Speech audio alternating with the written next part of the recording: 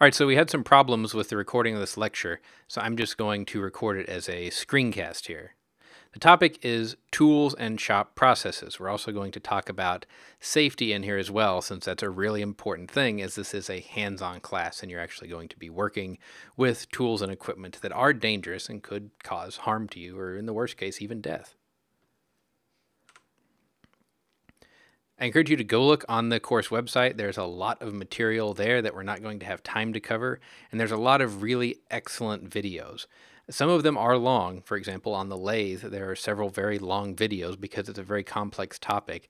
And I guess if you're really interested in maybe how to run a lathe, that's something that you should spend time watching.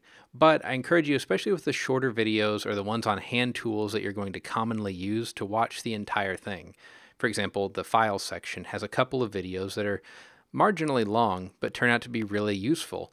And then if you're going to use one of the tools that there's a section on, definitely watch the videos in that section and read that section before using it. I tried to be very careful about adding safety precautions that you need to take in there as well. And of course, if you see anything that's missing, do file it as an issue on GitHub or send us a message. So when you're working in the lab or in the shop, safety is the most important thing and should always be on your mind. As the sign here says, the machine has no brain, you have to use your own.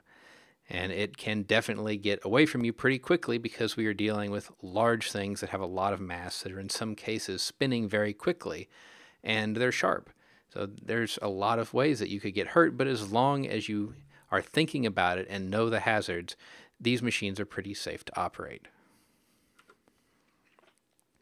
The easiest thing to do is make sure you're always wearing appropriate clothing. For example, closed-toed shoes are required anytime that we're in the lab or the shop. You cannot have open sandals or anything like that. It's better if you have steel toes even because then if you drop something, maybe you won't have a, a serious injury from that. But you must wear closed-toed shoes. That includes when we go to the machine shop next class.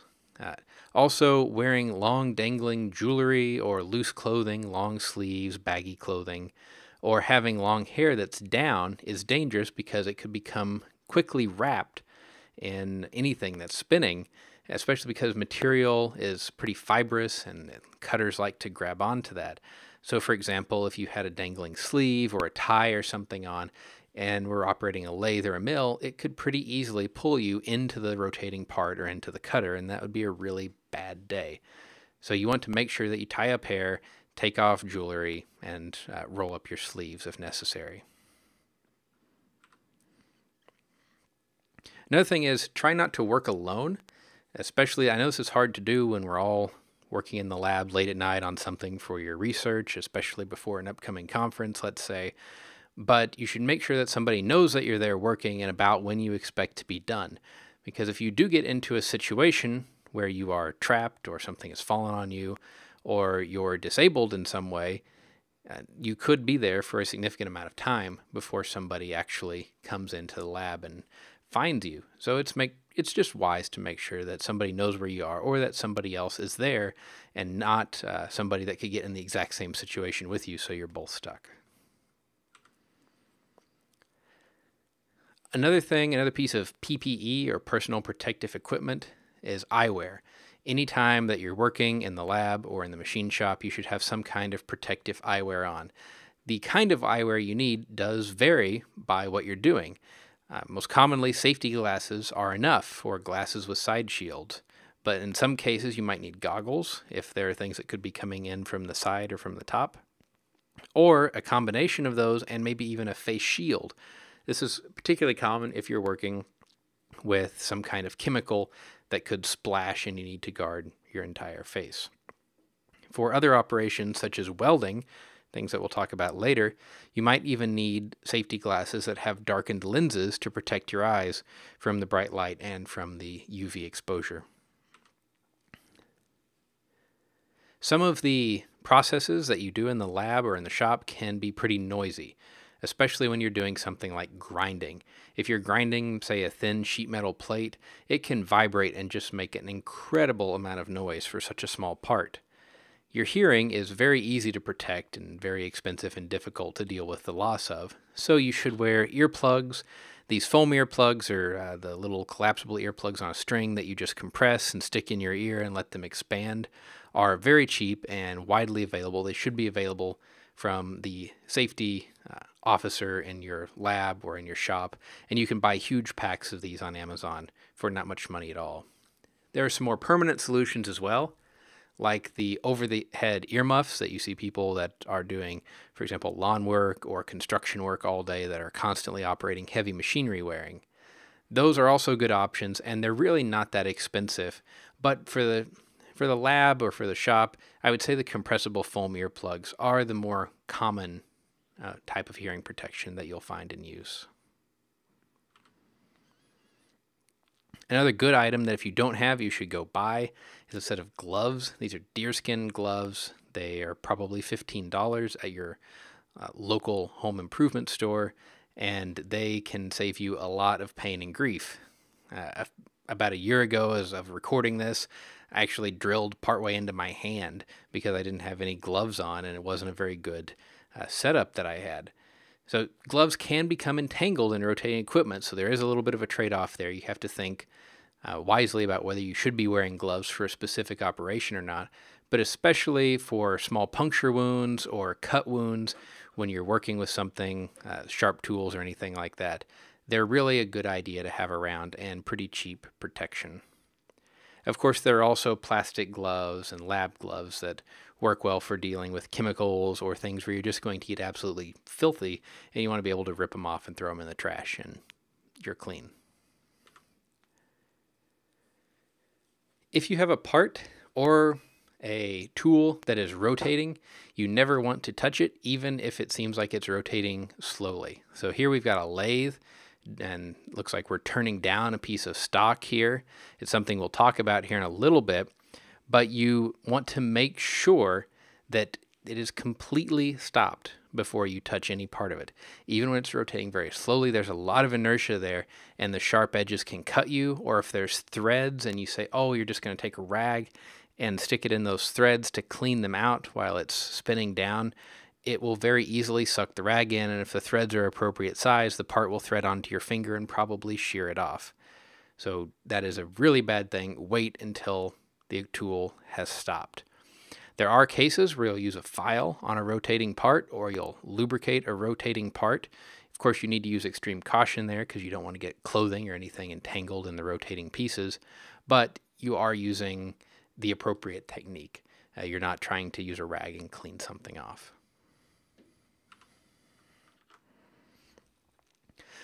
Also, one that a lot of people don't think about is grinders.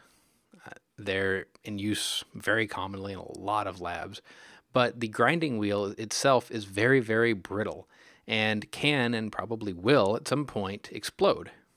Each of those fragments can contain a pretty comparable amount of energy to a 9 millimeter bullet. And if you're standing directly in front of the grinder using it when that wheel explodes, those pieces are going to hit you in the chest or in the face and cause some pretty significant damage.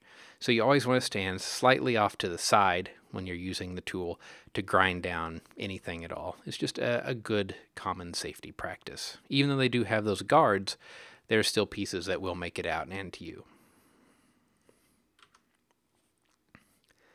The biggest thing with safety is just thinking ahead because you need to be thinking two or three steps from where you are now about what you're going to do and then be very attentive to the step that you're on so you don't get yourself in a bad situation. You're thinking ahead about, I'm going to lift this heavy metal part and move it over here. And you can think of the hazards, the trap hazards, for example, for your hands while you're doing that, and make sure that you avoid those situations. Okay, so now we're going to shift and talk about fabrication methods now that we've covered safety and talk about different ways that we can make parts that are going to be used in the lab and different ways that we can join them as well.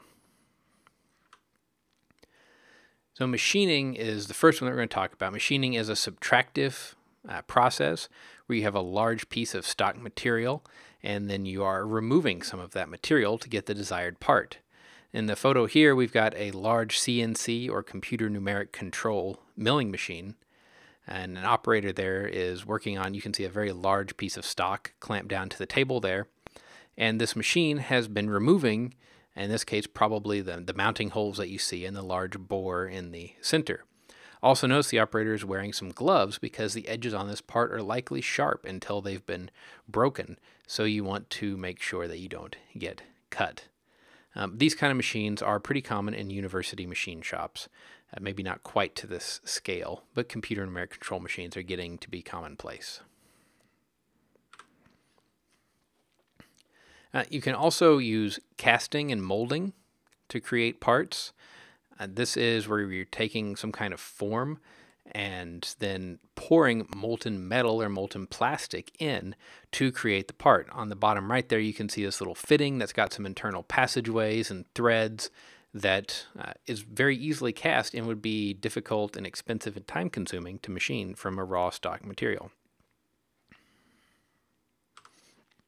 This is an example of casting aluminum. So there's a sand form there. It's a sand with a special uh, compound that makes it very cohesive. And it was formed around a pattern, and then the pattern was removed.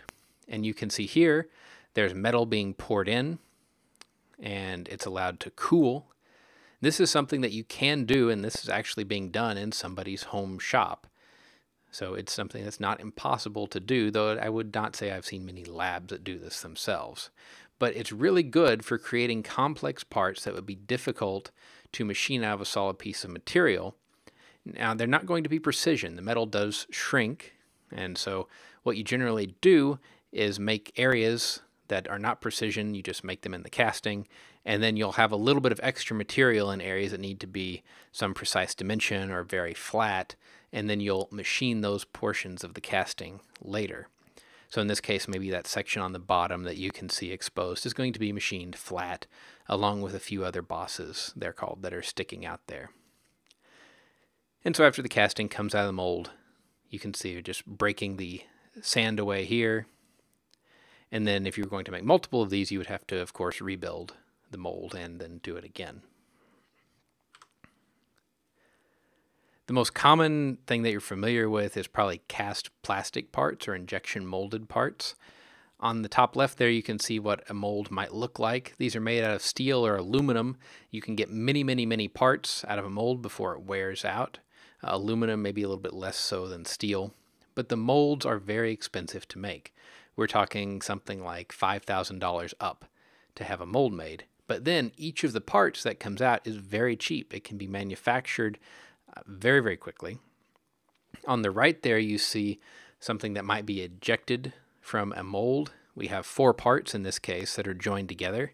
The gate is where the plastic enters the cavity for the part, and there's a runner that distributes the plastic into the, each of the gates, and then a sprue where the plastic was injected from the machine into the mold.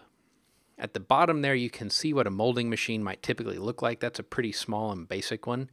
But these have to take plastic pellets, melt them down, inject them at high pressure into a mold with two halves that is held together at high pressure. The mold's cooled, the mold opens, the part's ejected, and the process is repeated. This can happen at a variety of speeds and complexities of the mold. But there are a lot of design constraints, like you need to have consistent wall thickness, and you need to have slight tapers so that parts eject out of the mold efficiently. So there are a lot of things to think about.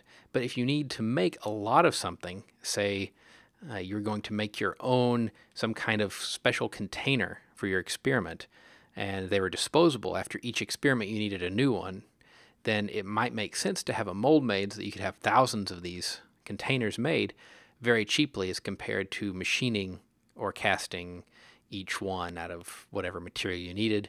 Uh, doing this injection molding would probably be the way to go. This is a video of an injection molding machine working. I will say this is not an incredibly fast machine. Uh, compared to some of the others that I've seen, especially from this company. But you can see here they're making some kind of little plastic cup or container. It looks like maybe for pudding or applesauce or ice cream, something like that. And then, so the mold closes, plastic's injected, it cools, it opens, there's a container, the robot arm pulls them off, and then it does it over and over again. This is how things like uh, your plastic water bottles, and this company also makes a machine that does the plastic water bottle caps, and it makes uh, something like 75 of those every mold cycle, and it cycles the mold every second or two. So this is a much larger, more complicated machine than the one on the previous slide. Another actually pretty common way for consumer goods and laboratory goods is sheet metal work. Sheet metal is relatively cheap. You can buy it in very large, uh, of different materials, but steel being one of the more common. And then you punch out uh, with hydraulic presses holes and patterns into it, and then you can fold it using what's called a brake into complex shapes. There are also roller folding systems like that shown in the upper left, but you can make on the top right there that kind of a bracket very, very cheaply and very quickly using a punch and brake method. Now, brakes come in all kinds of sizes, as do punches. There are ones that are desktop size that you can buy at somewhere like Harbor Freight Tools for a hundred bucks or so. There are some bigger ones that would sit on their own stand that you could buy for several hundred dollars. And then, of course, there are hydraulic ones that are huge, like the one pictured here. Uh, that that little stand sitting by it with the button is supposed to be about waist height on the operator. We'll see an example of that here in a second. These come in a variety of complexities. There are simple hand operated ones where you line everything up manually, uh, or there are computer numeric control ones where it actually directs you in each stage of forming the bracket and it puts the stops in the right place. But this is a pretty cheap way to do things like making closures, so boxes for your equipment uh, or front panels for your equipment. It's a relatively efficient way to do it. So here's a video of a bracket being made. These are called the fingers on the brake that are going down and pushing and bending the metal. You can see it's making a bend, the part's are moved, and then those backstops move according to the program so that the piece of metal just has to be set in until it touches those, and then the machine can be actuated again. In this case, making a relatively complex part for not much time or money at all.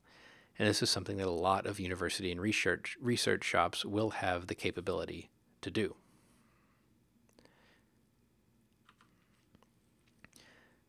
As another example, this is making car doors. There's a big roll of steel.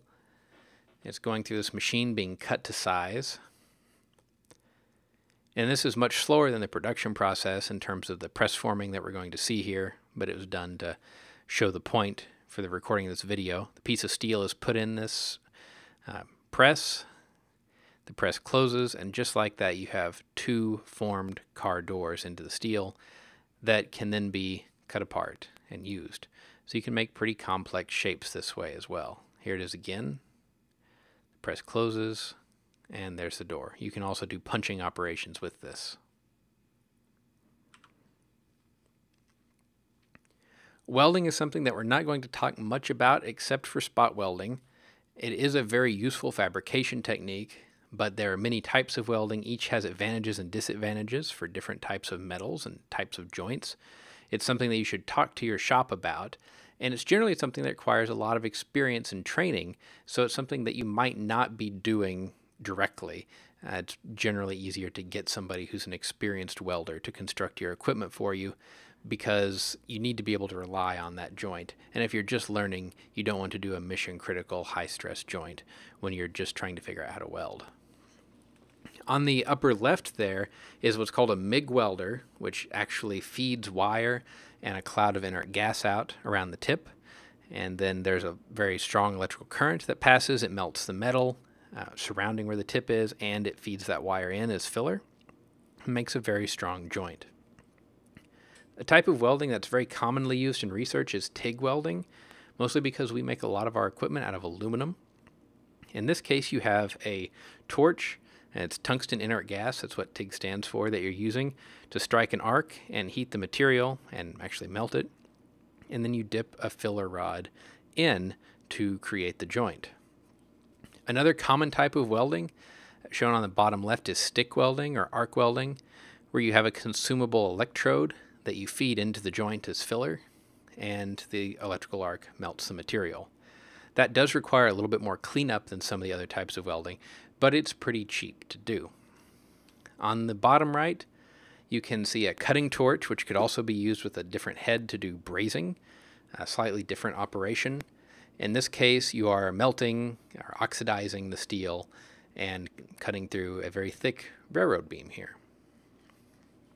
The type of welding that we will talk about, spot welding, is shown in the upper right. That's a pretty large spot welder, but there are many varieties of them, and this is safe to do in the laboratory and doesn't actually require too much training. Unlike the others that are shooting sparks everywhere and there's lots of hot metal flying around, where you have to have a dedicated area to do it, spot welding is used for thin pieces of sheet metal and can be done almost anywhere. So here's a video example. He's making some kind of a bracket. So he wants to weld those two pieces of material together, clamps them, opens up the jaws of the spot welder, positions it, and then hits the switch. And you see that there is a current flowing between those two electrodes, and the resistance of the material is heating it and causing that weld to be formed. Now, that weld should be as strong as the material or stronger. So, if you pull those pieces of material, they should actually break the material, not the weld. This doesn't work on very thermally conductive or electrically conductive materials. So, things like copper don't spot weld well. But steel, those types of materials, are very easy to spot weld. And these types of welders can be picked up relatively cheaply at uh, different supply houses. Another technique is printing. Uh, other than, I mean, there 3D printing is included in this, but there are other types of printers. And it's a very quick way to create prototypes, sometimes final products, but it's not as new as people might think. For example, 3D printing has been around for quite some time. On the left there is a Lulzbot Taz, one of the more recent and up-to-date 3D printers. You can see it's printed a little octopus down there on the build plate. This type of printer takes a plastic filament that's about 3 millimeters in diameter in, heats it and squirts it out of that print head, and then builds the part layer by layer. And you can adjust how fast and how thick each layer is. Uh, it controls the surface finish of the part and also the print time. So small prints might take a few minutes, large prints could take days to do. There are other types of 3D printers.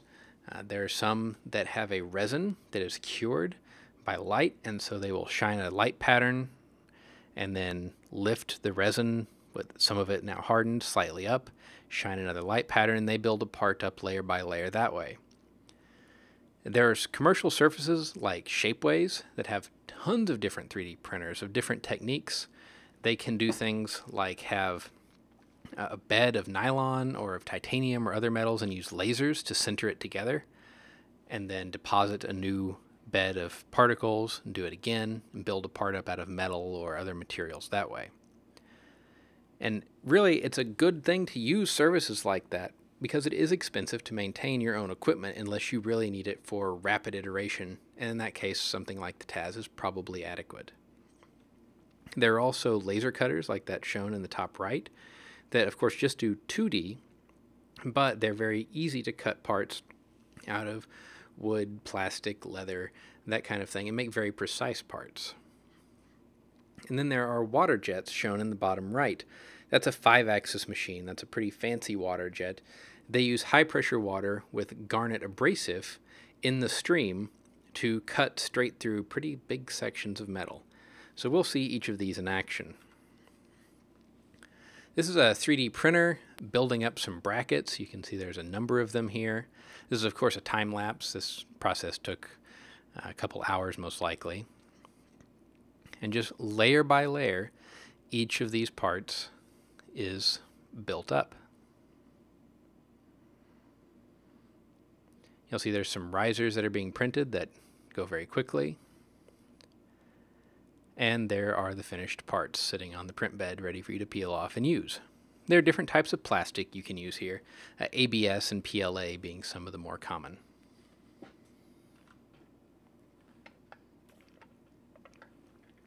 This is a video showing a commercially available laser cutter.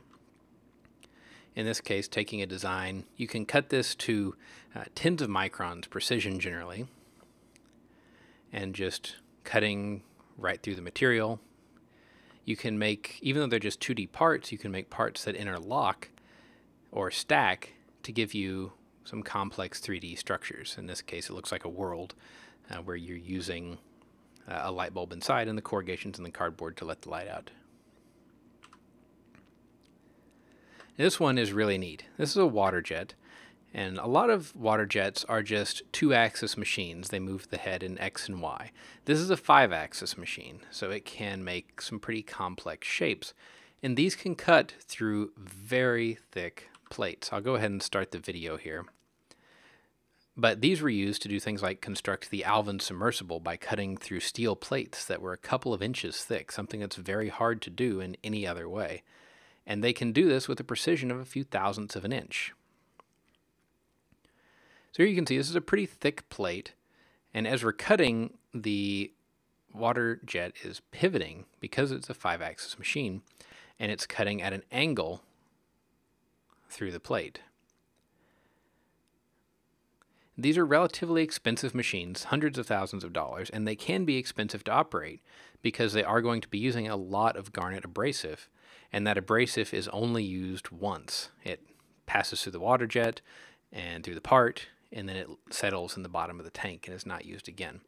So there can be significant costs to operating these, but when you need one, you really need one because it would be very hard to get this part that you're seeing be made, uh, made in any other way out of one piece of material and to be as precise as this is going to be. A lot of university shops are getting to where they have these. They are incredibly useful if you have access to one. And there are commercial services like eMachine Shop. Here you see the part comes out and it's this complex turbine looking shape with the blades cut out of one solid piece of material by the water jet.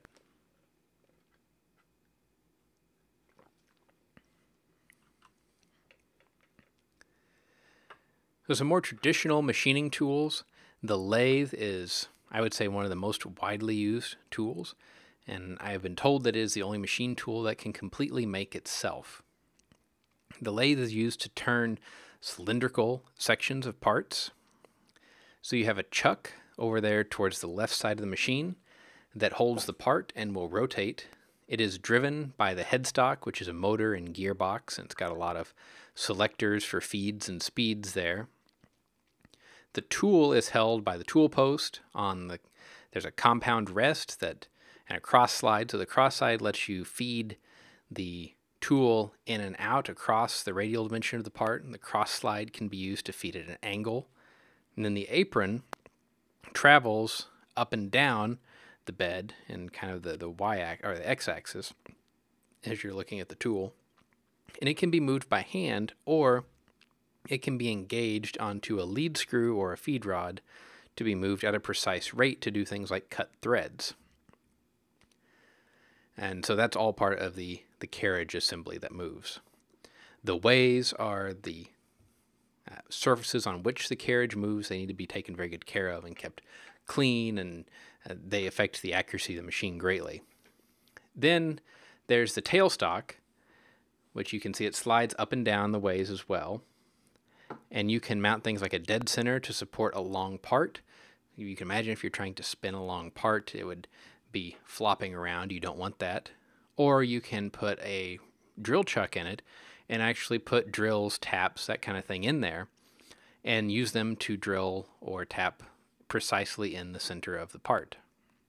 This is a very useful machine, and small ones can be had for $1,000 or so and would be useful to have in the laboratory though commonly much larger machines are available, and some universities have these available to students to use as well.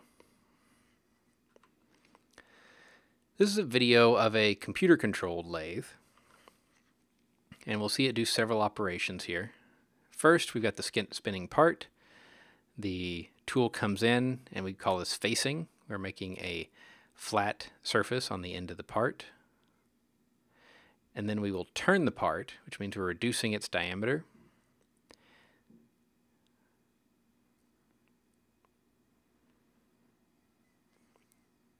And this is done generally in a roughing pass, and then you go back and take a finer pass to get a very good finish once you get to the diameter that you want. You can see there are a lot of metal chips flying around, so if this was a machine that you were operating manually, you want to make sure that you have some, some safety guards in place and that you're taking your eyewear precautions. Here it changed tools, and now it's using a tool to cut some grooves. So we're further necking down part of this part. There would be several ways to do this, but this is a relatively efficient way to. You could also use this tool to cut off the part, or what an operation that would be called parting.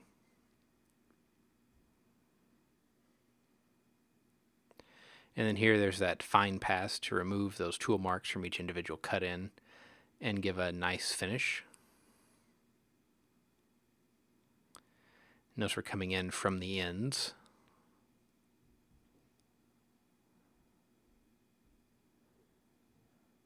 A little bit of a problem with chip buildup here. Taking another cut for another groove.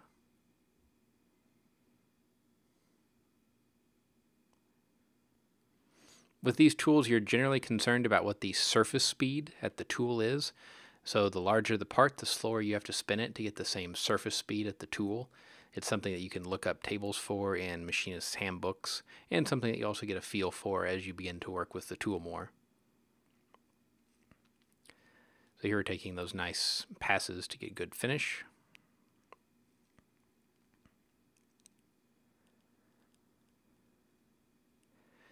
Then we're going to go over and change tools again. This time to a very fine grooving tool.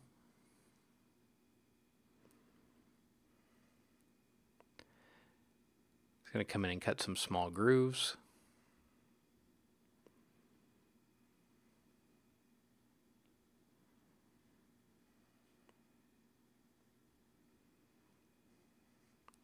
And notice this is a pretty quick process, really, to make this part, something that would be very hard to do in any other way. And even doing this on a manual machine uh, wouldn't be that much of a chore.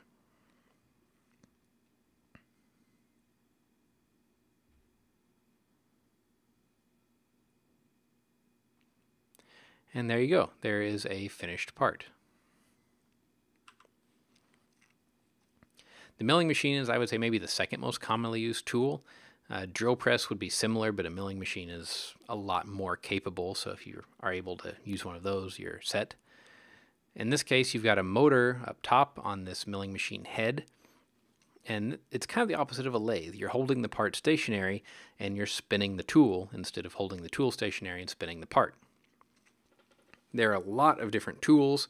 This is a vertical milling machine or a turret head milling machine. It's the most common. There are horizontal mills but you've got a table that you can move very precisely in X, Y, and Z to move the part around the tool and remove material. The knee of the machine goes up and down to elevate the table, and then you can move it in and out and side to side. There are a lot of different things you can do with this machine. There are CNC ones that can do very complicated procedures, but they're very worthwhile to have if possible because they let you do things like drill precise hole patterns, Using a rotary table, you can mill grooves for something like an O-ring in an oddly shaped part that would be hard to do in a lathe.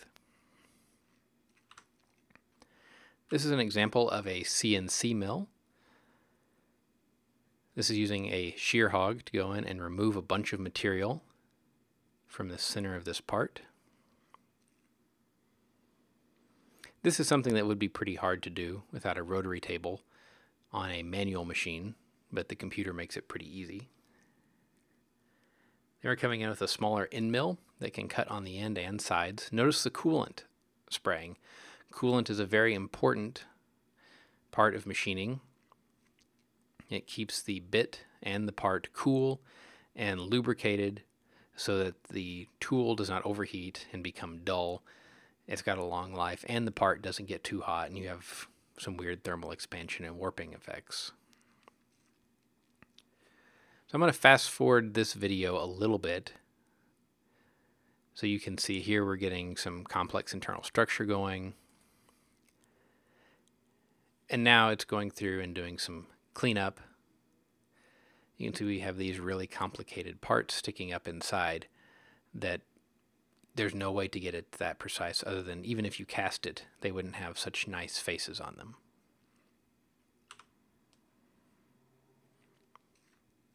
EDM uh, or uh, electric discharge machining is another way to make very, very accurate parts.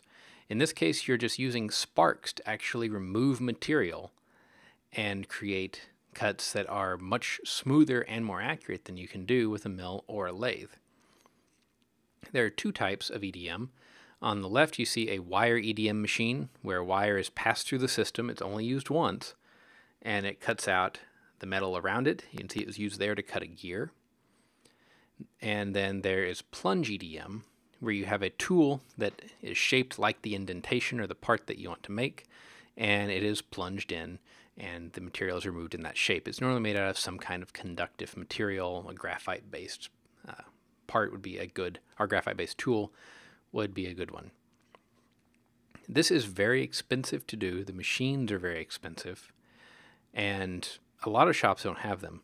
Some university machine shops do, but the shops that have them want to keep them running continuously to pay for themselves and pay for the operators. So they're very likely to take on one off parts for something like your lab project. This is a video of an EDM working. You can see it's a pretty big machine with a pretty big control cabinet.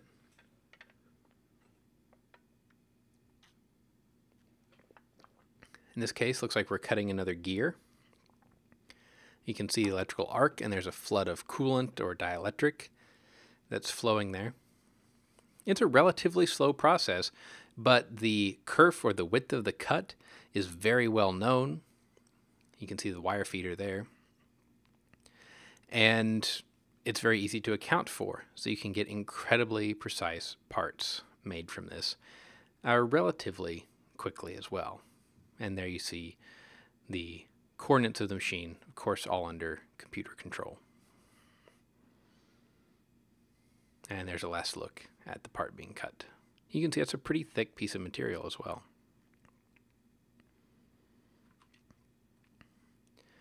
The material that you're going to make your part out of makes a lot of difference in terms of cost and performance of the part. And there was some reading on this in the assigned reading from the first week. But so we're not going to go over it too much here, but generally aluminum is a good choice for a lot of laboratory uh, fixtures and jigs that aren't necessarily going to be under that much stress. Steel is another common choice. Uh, brass and bronze are definitely used in a lot of laboratory equipment. There are some precautions that you have to take when machining them because they do tend to grab onto tools. There are some special tools that you have to use. And there are some really weird materials like beryllium copper that we use for load cells in our laboratory, but they are hard to machine and they're actually hazardous to machine. So they can be very expensive to deal with. You need to make sure that you're using the right material, it has the right mechanical properties, electrical properties, thermal properties, and so on. But you need to look up exactly what it's going to mean to have to make a part out of that.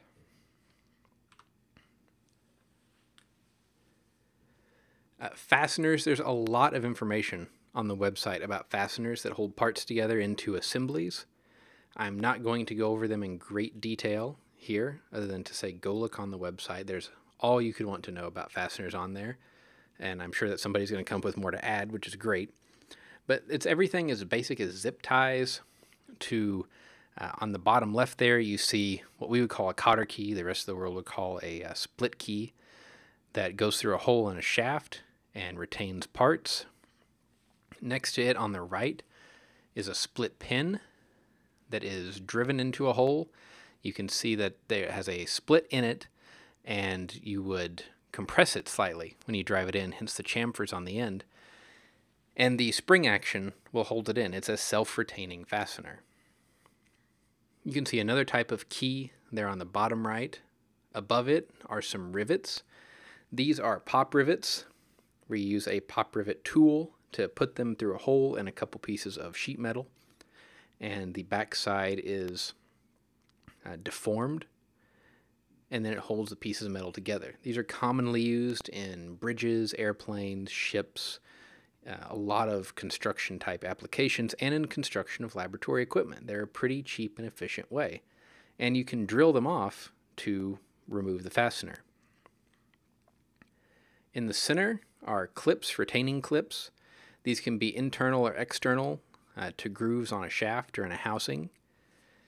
They go by a number of names circlips, E clips, retaining rings. Each of them may be a little bit different for the particular uh, use, but I do have information on that on the website once again. And at the top, there are what some people consider screws, and then on the right, a nut and bolt. The actual definition of the difference between a screw and a bolt is pretty undefined. There is a U.S. Customs and Border Protection document on it that I did link on the website in case you're really curious. But, I mean, small bolts are called machine screws. That kind of rules out the idea that, well, maybe screws have a point and tap themselves into material. But you get the idea that screws and nuts and bolts are used to hold many assemblies together. And of course, they have threads. Threads are a, a, wrapped inclined plane that we use to exert force to hold these parts together or apart. And this is not the best image, but unfortunately, it had all the things on it that I wanted to show. But you can see the major and minor diameters of the threads. The bottom of the thread is called the root, and the top is called the crest. And there is a thread angle, uh, normally 60 degrees. Uh, that makes that kind of triangle shape there. And the pitch is the distance between two consecutive thread crests. And so in the US, we have a number system like a number four screw or number four thread. And then it's followed by the number of threads per inch. So a 440 machine screw is a number four size and it has 40 threads per inch. In the metric system, you would have something like an M12 by 1.5. M12 being the major diameter of the thread, 12 millimeters, and then the 1.5 being the pitch, so a 1.5 millimeter distance between each thread. And there are a lot of different kinds of threads. These are just a few. You can see some have slightly different shapes on the top. Some of them are not triangular at all. Some of them are asymmetric, which causes all kinds of funny things to happen but they each have a really good use. You can consult something like the Machinist's Handbook to learn about these and which one is what you should be using for your particular application. There are lots of variations on these. There are threads that have multiple starts, like the thing on your toothpaste, so you don't have to keep rotating the cap to find when it can go on. It probably has two or four starts. If you look at it when you brush your teeth next, you'll be able to tell. And I think those are commonly Acme threads or stub Acme threads. Acme threads are also used on a lot of big high stress applications. We use those on our rock deformation apparatus, for example. But there are buttress threads and all kinds of special ones. The most common that you're going to see are the unified threads up there in the top center, at least in the US. We have the UNC, the Unified National Coarse, and the UNF, the Unified National Fine thread gauges. This is a table. Uh, I've handed out a version of this uh, for all of you to have that has some of the most common screw sizes and their nearest fractional and decimal thread diameters. So now we're going to do an activity.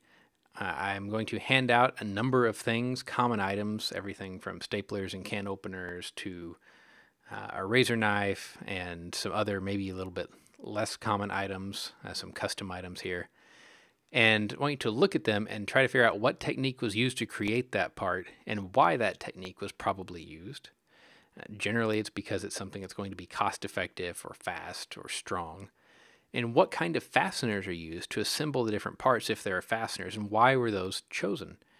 Uh, maybe they could have used a rivet instead of a screw, but there's probably a reason that they didn't. And also, what's the part made of? It's made out of steel or aluminum or plastic, and why do you think that is? Also, for the next class, go to the threading activity that's under the lab exercises part of the web page. There's a video at the bottom of that. Go ahead and watch that. It's just about four or five minutes long. It'll prepare you for the activity that we're going to do next time. Next week, remember to wear shop appropriate clothing. We're going to go to the machine shop, so you have to have closed toe shoes. And then we're going to go up into the lab and do the threading activity after we get back from the machine shop. So, once again, make sure that you've got something that you can tie long hair up with, remove your jewelry, all of that. And until then, we will see you next week when we go to the machine shop. Thanks.